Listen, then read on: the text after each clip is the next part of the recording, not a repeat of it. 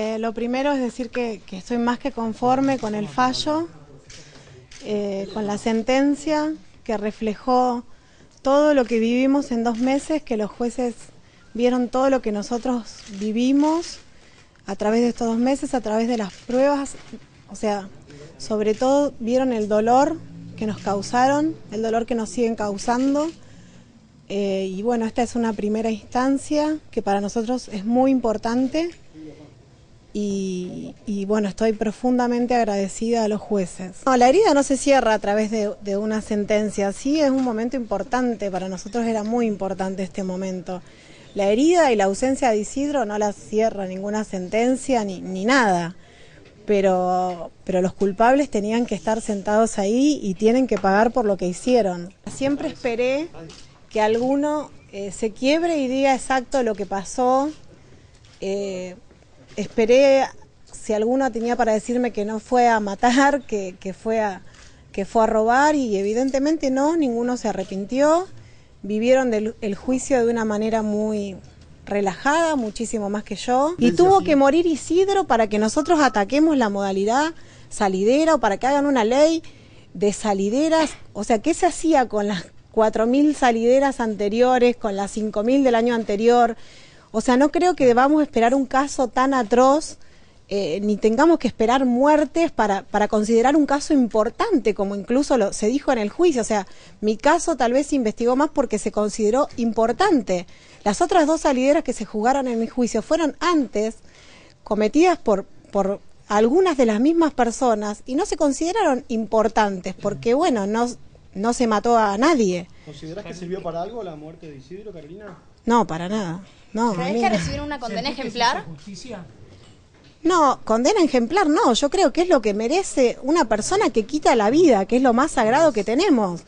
Y eso es lo que, o sea, la condena, el ejemplo acá tiene que ser la efectividad de la pena, no una condena ejemplar. Yo no pido una condena de, de 90 años ni de pena de muerte. Yo pido, le dieron 25 años, pido que se ratifique esa condena y que se cumpla. Si son 25, son 25. Lo esperaba porque en eso me había asesorado Fernando, pero bueno, yo tenía muy claro que fue homicidio, porque Isidro vivió, Isidro vivió más allá de mí, vivió conmigo en terapia intensiva, vivió una semana, vivió con vivió con su papá, vivió con, sus, con toda su familia al lado, con los médicos que hicieron lo imposible, que lo cuidaron.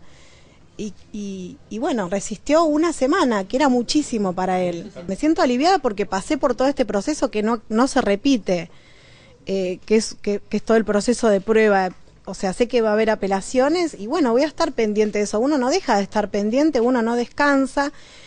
Y, y, uno se va con la, con la sensación tristísima que, que es que le puede volver a pasar.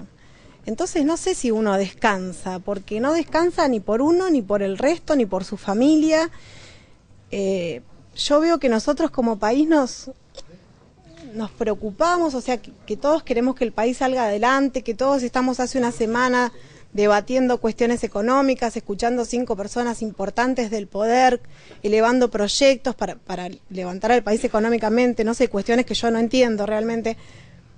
O sea, yo lo que espero de este país son cinco personas que nos representen y que nos digan, estos son los proyectos que tenemos para la seguridad y ya los estamos mandando de los legisladores y que todos y que todo se haga en un minuto como se hacen las cosas económicas, o sea, porque sin la vida lo económico, eso es lo que yo no entiendo.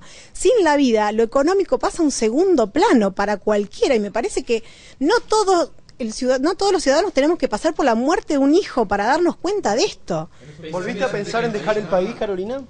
No, nunca pensé en dejar el país. O sea, eso fue en su momento porque a mí me costaba mucho una cuestión de los medios. Eh, yo no estaba recuperada físicamente, yo necesitaba un poco de paz para recuperar mi físico. Yo ni siquiera podía hablar, ni siquiera podía caminar. Y bueno, Fernando, para, para aliviarme toda esta situación, dijo eso un poco para tener paz. Sí, este era el fallo que esperaba. ¿Cuándo te diste cuenta de que se iba a hacer justicia? No, yo lo creí desde un primer momento que se iba a hacer justicia. Lo creí desde un primer momento porque porque también eh, no es suerte, porque no se puede decir tuve la suerte de que, pero tuve una investigación por considerarse, como se dice, un caso importante de que estuvieran presos muchas de las personas implicadas en mi salidera. Sí, me decepcionaron muchas cosas. ¿Por ejemplo? Eh, por ejemplo, me decepcionaron, eh, bueno, estas cuestiones de los acusados. Yo, yo ya desde, desde el vamos leyendo el expediente yo esperaba ya leer otra cosa, leer arrepentimiento, leer eh, eso nunca. Eh, me decepcionó mucho los, eh, las cosas que se plantearon en los alegatos. me decepciona mucho, como dijo el fiscal, el amparo en la exclusión social, cuando en realidad vimos personas que estuvieron bien defendidas, contenidas por familia, que en algún momento tuvieron un trabajo formal y que eligen el camino del mal, porque si no estamos hablando de que todas las personas excluidas entonces eligen el camino del mal, eligen matar, no.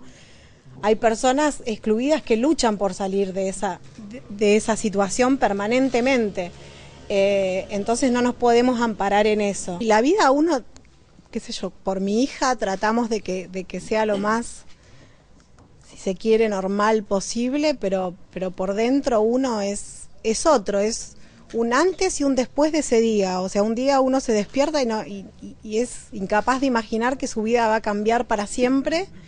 Y como dije en el juicio, a veces uno hasta se olvida de, cómo era, de cómo pensaba. O sea, viene una persona a arrancarte literalmente tu vida eh, y a sacarte a tu hijo y a, y a bueno, y a no, no dejar que nunca más seas quien sos. Es así, y arruinar la vida de toda una familia, porque no nos olvidemos que que, nosotros tenemos mamás, papás, que Isidro tenía tíos, que Isidro tenía mucha gente que lo quería, que lo estaba esperando y, y para todos cambió la vida, no es para nosotros dos solos, para nosotros más.